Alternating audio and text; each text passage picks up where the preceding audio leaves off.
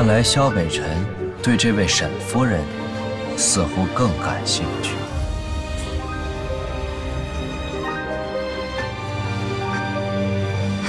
何姐又回来了。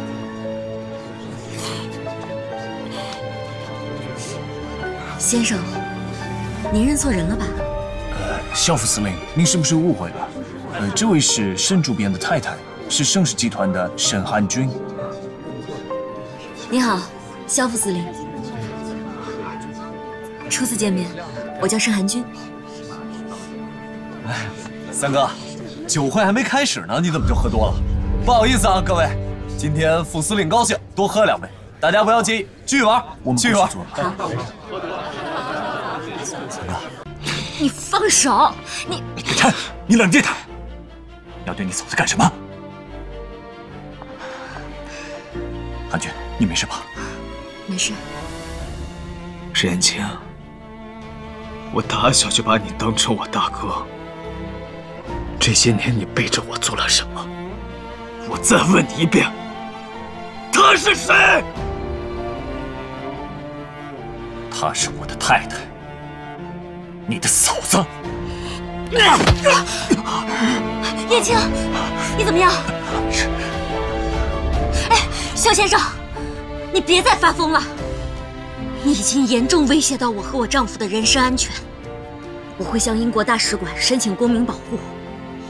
如果你继续骚扰我们夫妻俩，我一定会提起诉讼，对你追究到底。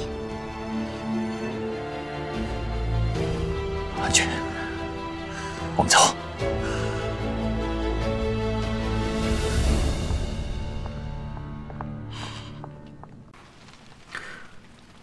秀儿罪大恶极，也知道事情已经败露，万死难辞其咎。但有一事，若不告诉三少爷和戚夫人，实在良心不安。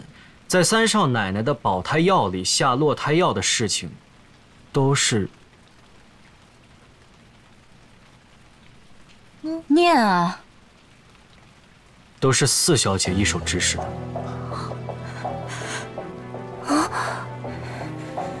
胡说！原来是你，是你害死了我们家小姐，不是我。当初你就看我们家小姐不顺眼，也是你四处造谣，害得我们家小姐。现在我们家小姐死了，我跟你拼了！放肆！你胡说八道什么呢？你放开我！淑仪，我现在就想听你说，到底怎么回事？七姨，真的不是我害死杭景的孩子，你要相信我。七姨，我相信淑仪，绝对不可能是她干的。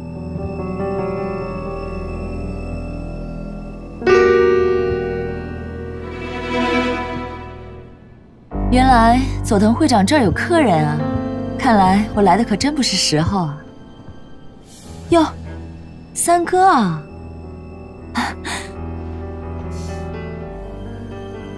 好久不见，最近过得好吗？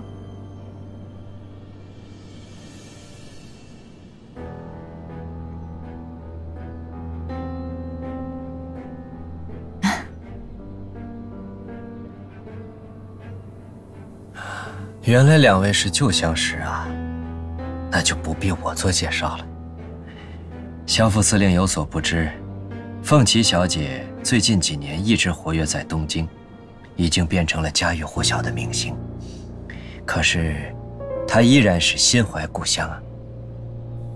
目前小妹已经回国发展了，还请三哥多多照应啊。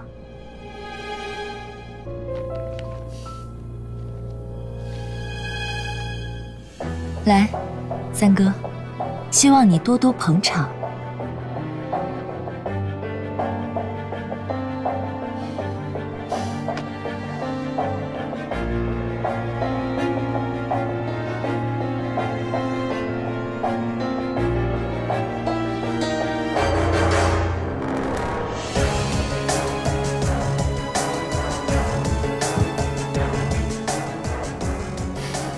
佐藤会长。我还有事，就先走了。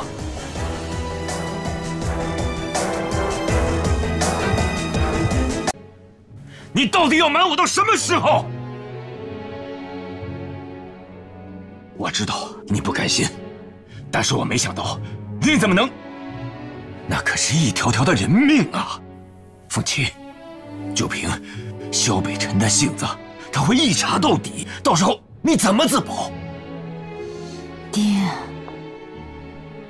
这事儿和我无关，我为什么要害怕？我自保什么呀？今天你必须跟我去，去萧家赔罪。啊跟我走。我不去，要不你就一枪把我毙了，我是不会去跪地求饶的。凤琪，爹，我告诉你，我拍了那么多次电影，穿了那么多次婚纱，我就是想为我自己穿一次，嫁给我心爱的人，我有错吗？啊！还有那个林行景，他怀了木子正的野种，我替三哥除掉，我有错吗？你告诉我有错吗？我有什么错？如果林行景怀的是野种，那你干嘛那么着急让那孩子去死啊？如果那孩子不死，那林杭景也不会死。凤琪啊，走，跟我去萧家，我们全家去给萧家赔罪，还来得及，还有一线生机，知道吗？走，爹，跟我走。爹，我不能去，我我要承认的话，我跟三哥就完了，我这辈子就完了。跟我走，我不去。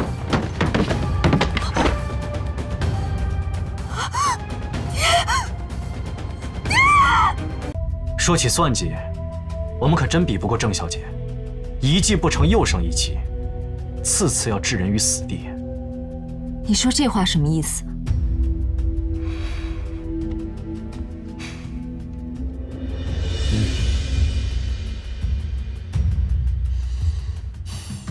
给我看乔江的照片干什么？乔江，他不是叫蒋之奇吗？你知道这是谁的耳环吗？这不是凤琪姐姐的吗？啊？你确定吗？是啊，我看她戴过好几次了，怎么在你们手里啊？这是我们在秀儿房间里发现的。什么？我现在怀疑秀儿的所作所为，说不定跟郑凤琪有关系。